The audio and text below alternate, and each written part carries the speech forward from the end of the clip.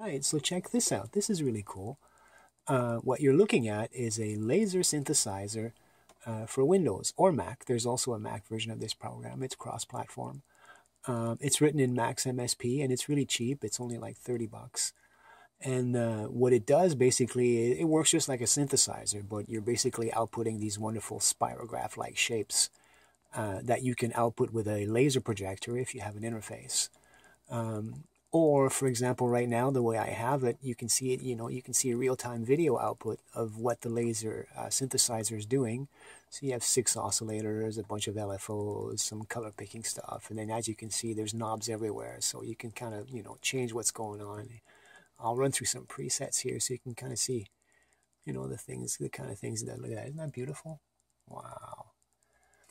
So the cool thing, like I was saying about this thing, is that uh, you can output uh, this uh, video in real time to a VJ application through Spout.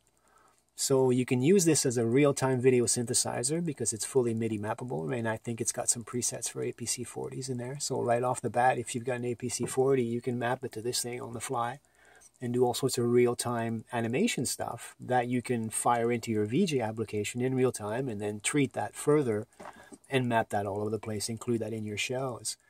Um, that's really cool because you can create kind of like with instruments like this, you can kind of create VJ band type of things where you can have multiple monitors and two or three guys around the same VJ station, and they're all playing these like instruments, and then you know one guy is basically the mixer guy. So that's a really cool thing. You should check this out if you're a VJ.